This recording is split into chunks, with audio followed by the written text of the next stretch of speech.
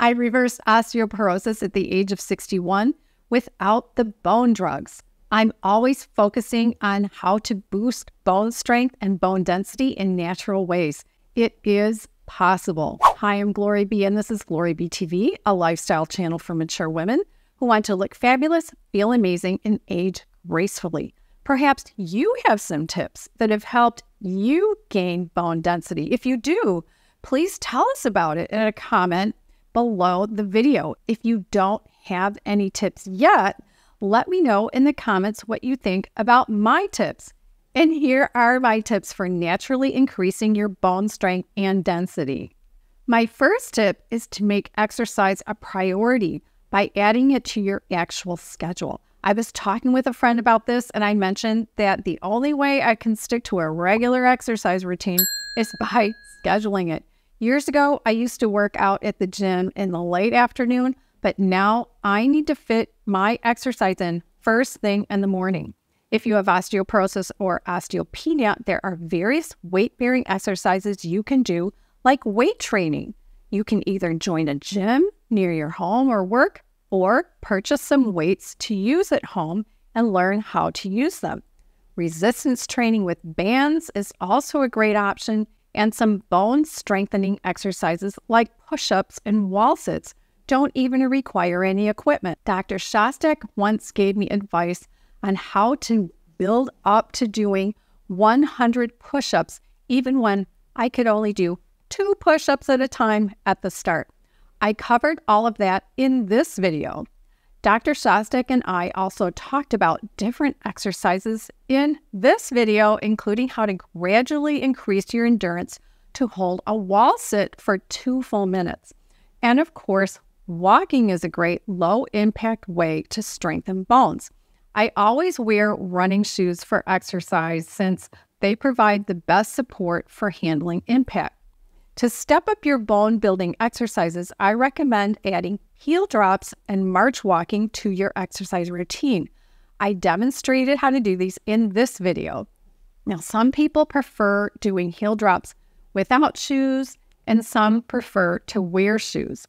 If your osteoporosis isn't too severe, you might also try stomping exercises, which I demonstrated in this video. You can do these for one minute at a time anytime during the day.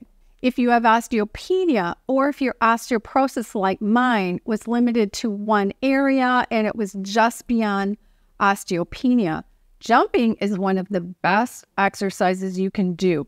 I demonstrated how I do the jumping exercises in this video. And I also have a jump with me video where we do the jumps together and work in some other exercises in between the jumps. After being diagnosed with osteoporosis in my lumbar spine, I incorporated these jumps into my routine.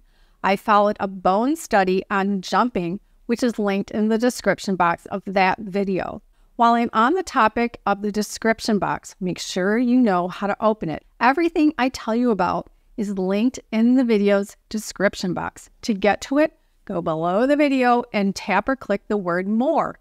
Then on a phone or tablet, you have to click the word more a second time. Then scroll through the box to find videos I'm mentioning. Any products I mention, articles I mention, really anything and everything will be there. I'll also put everything in the first pinned comment. Now, what other exercises can you do? Well, a few years ago, I realized that falling is something to avoid at all costs. To prevent falls, I focus on strengthening my entire core area, including the abdominals and the glutes. And I also stretch deeply into the hips, quads, and hamstrings. Now, I've created two videos for strengthening the glutes one for beginners and one for intermediate levels, and two videos for the abdominals, also at beginner and intermediate levels.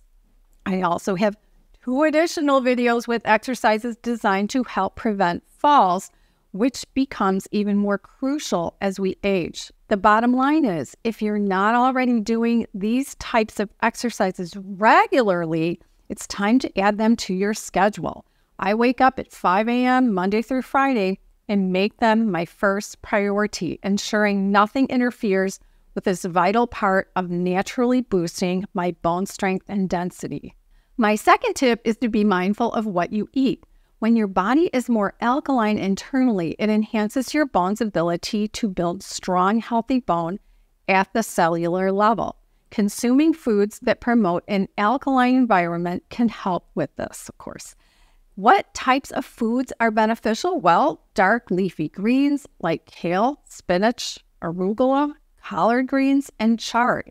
You can incorporate these greens into salads or lightly steam or saute them. A friend of mine joined a community supported agriculture or CSA program one summer and received a box of vegetables every week, including a lot of kale. She asked me, What am I going to do with all this kale? Well, I recommend chopping it up, or if you're not in a CSA, I buy it pre chopped. I use a large saucepan or skillet, heat up some vegetable broth or water, and saute onions and mushrooms with garlic powder or fresh garlic. Then I add the chopped kale, cover the pan, and let it steam lightly for about five minutes. It turns out delicious without being overcooked. Other vegetables to include in your diet are root vegetables like carrots, parsnips, and potatoes. Cooked beans, raw nuts and seeds, and a variety of fruits also help balance an alkaline diet that's beneficial for your bones. My third tip is to be mindful of what you don't eat. Just as important as what you eat is what you don't eat. Foods that promote an acidic environment in the body can leach to minerals from your bones. Foods that create an acidic condition include meat, dairy, sugar, and gluten. In terms of what you drink, that would be alcohol, colas, and coffee, also contributing to an acidic body. My father ate these types of food and drink regularly and mostly avoided the food I suggested you eat instead. While he didn't live long enough to get osteoporosis, his body was very acidic and his health suffered for it, and he left this world when he was only 57 years old. I'm now 64 years old and I'm much healthier than my father was when he was 35. Consider eliminating or severely limiting these acidic foods and drinks. My fourth tip is to get your blood's vitamin D to an optimal level. Maintaining an optimal level of vitamin D in your body supports healthy bones and enhances bone strength. I once heard Dr. Joel Fuhrman say you should only supplement with vitamin D if you plan to get your blood tested for vitamin D regularly. And by regularly, he meant once or twice a year. That's the only way you'll know how much vitamin D to take as a supplement. Just because you're outside every day for your work doesn't mean your vitamin D level is good. The guy who trimmed my trees in my yard was outside for his business nearly every day, all year. He assumed his vitamin D level was fine, but then in 2020, he got this. Remember that? In 2020, he got it so badly that he had to be hospitalized for low oxygen. I asked him if they tested his blood for vitamin D while he was in the hospital, and he said yes, and it was low, and he was surprised. It never occurred to him to get his blood tested for vitamin D because he was outside every day. Don't assume. And it's irresponsible for your doctor to tell you how much vitamin D3 supplement you should take without testing your blood regularly. And besides that, most doctors read the wrong literature about what the best vitamin D level is for your blood. Now, after going over this topic for years, I aim to get my D level between 70 and 85 ng/ml, which is nanograms per milliliter. Even better, several years ago, I enrolled in a vitamin D study and my blood gets tested twice a year and I can view the results. That way, I know how much supplement to take. I've noticed that during stressful times, my vitamin D levels drop, even though I'm taking the same amount of D3 supplement. This indicates that I need to increase my supplement intake when I'm under a lot of stress. You might also consider joining the vitamin D study led by Grassroots Health. There's a link in the description box below where you can learn more. The study is investigating how maintaining a vitamin D level between 70 and 85 ng/ml can benefit the body, particularly in supporting immunity. I haven't had uh, the flu since 1975, though I've had a few colds. Sufficient vitamin D is also known to help keep bones strong as well. My fifth tip is consider other supplements. Dr. Shostek and I have covered supplements for building strong bones in several videos, and she continues to research this topic. In our earlier videos, we talked about our supplementation plans, and any updates to that information are noted in the description box of those videos.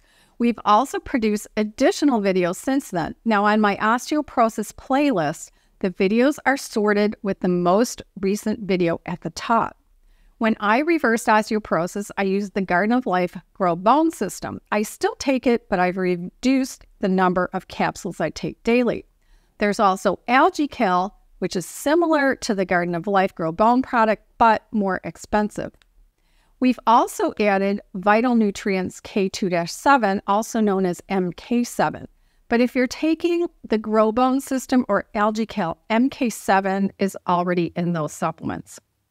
MK7 directs calcium to the right places in your body and it helps to regulate vitamin D. Dr. Shostek has been doing telemedicine with several of my viewers to help them navigate changes they need to make to their diet, supplementation, and exercise in order to reverse osteoporosis naturally and to create real strong bones. We discussed what it's like to work with her and what it costs in this video.